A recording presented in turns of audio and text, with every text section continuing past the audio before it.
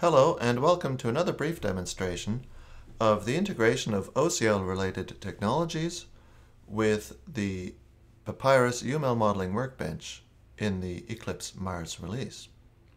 Today we'll look at using Acceleo to transform a UML model to text.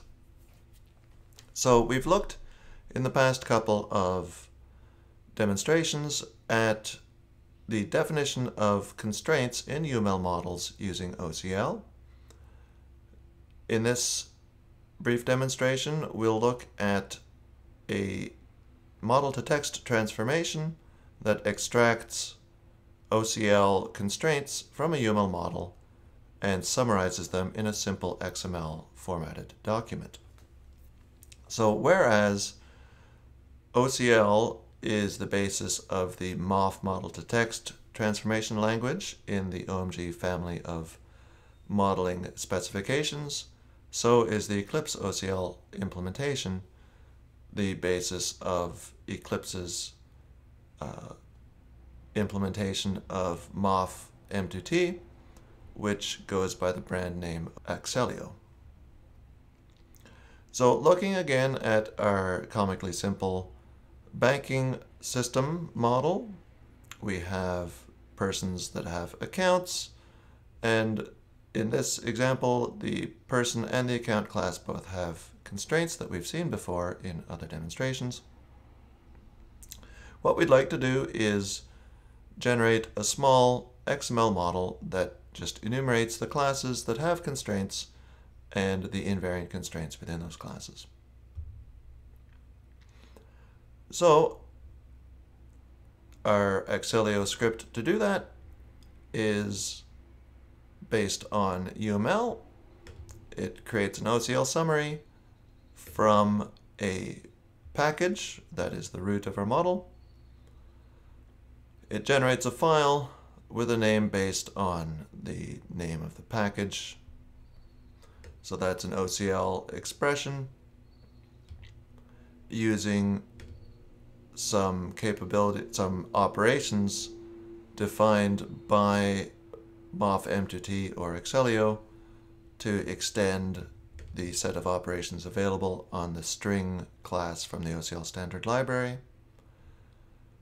So a simple boilerplate for our XML file that we'll generate. The XML declaration, the root element is just the OCL summary with the model name and then we recursively process packages to extract OCL constraints from the classifiers in those packages. So here is an iteration over nested packages to recursively extract OCLs from them. And then for any given package, we emit an XML package element with the name extracted by this OCL expression from the package element in the model.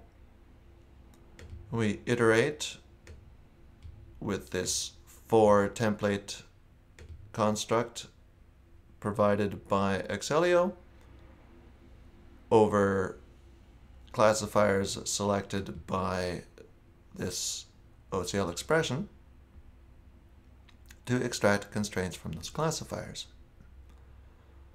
So further, a template for classifiers to extract constraints from them comes in two different variations. The same template signature, templates as defined by the MOF M2T being a kind of operation. So whereas in OCL, we can define additional operations for any class in the model. Likewise, in this model to text transformation language, we can define OCL like uh, templates for the classes in our model. Moreover, we can overload the same template with different guard conditions to determine which variant of that template is invoked for any particular element.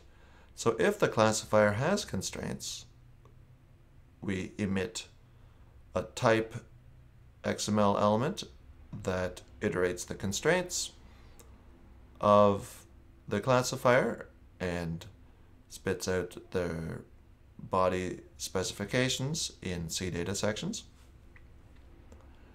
And in the case that the classifier does not have constraints, we simply emit an XML comment indicating that there was a classifier that didn't have constraints, just as a comment so that we don't wonder why it is absent from the content of the XML document. So here we see uh, obviously the classifier metaclass in UML does not have a has constraints operation. That is a query that we define as an OCL expression for the purpose of helping us to build our templates more concisely and clearly. Likewise, to determine whether a constraint has an OCL specification and to extract the OCL specification out of a constraint because the UML model for constraints is uh, fairly complex. An opaque expression can have any number of bodies corresponding to any number of languages describing how to interpret those bodies. So if we find a language OCL, then we get the corresponding body out of the opaque expression. And a simple utility for safely printing out the string representation of uh, a string that may be null. So just about the simplest example of a model to text transformation for UML models with the MOF M2T slash Acceleo language. So why don't we try running this transformation on our example model. There it runs, it's finished. We see the output comes here. Open that in the XML editor. Okay, good. So we have our OCL summary from the user model. The root package, of course, is named user model. There are a bunch of types in there that have invariant constraints. That all looks good. We use the CData section in order to protect uh, angle brackets, especially the left pointing ones that we just don't happen to, oh, like this one, yeah. But there are some peculiarities going on here. So we sorted the types that we iterated by name. So yes, account, account kind. So these didn't have constraints but we see the nice little comment indicating that. But then there's this funny thing here that has uh, apparently no name. Where did that come from? And also, it's not so informative as it could be, this type element. What kind of type? So these might be classes, they might be data types, they might be enumerations, uh, they might be activities, who knows? Uh, so we'd like to be a bit more precise about that. So, first off, one of the things to remember about UML class models is that associations are classifiers. They have member ends that are properties, and as far as OCL is concerned, and you know possibly other languages, those member ends can be viewed as like properties of the association as a classifier.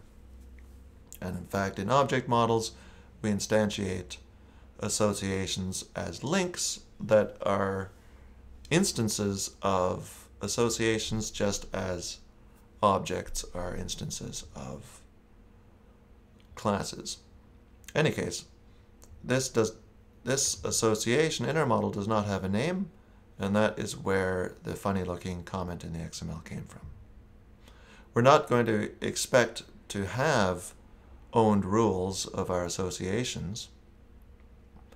So what we can do is we can further specify or refine the iteration over classifiers to filter out those classifiers that are associations.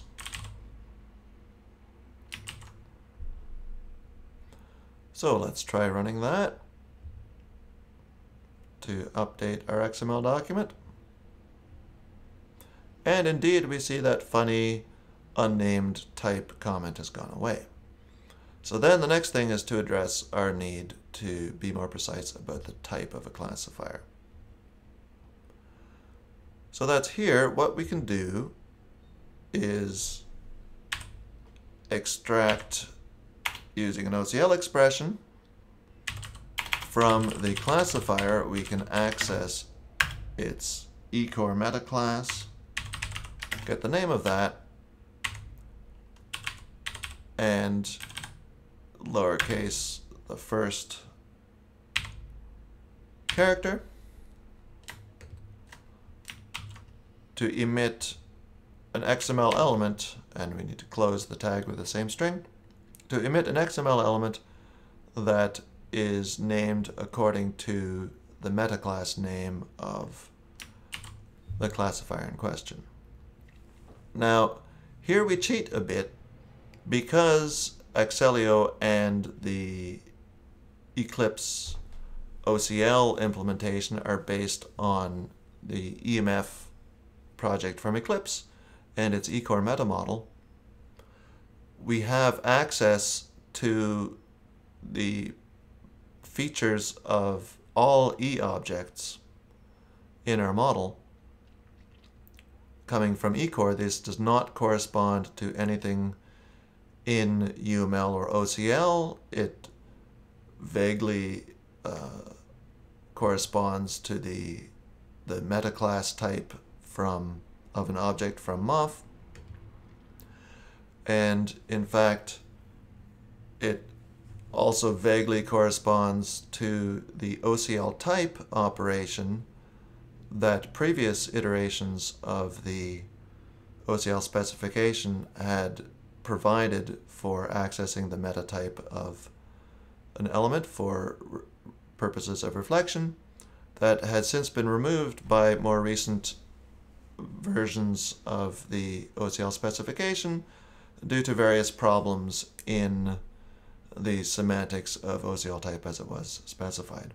So we resort to this Eclipse specific and Acceleo specific access to the E-class. So let's run the transformation again. And now we see nice class element instead of this more uh, generic type element in the XML.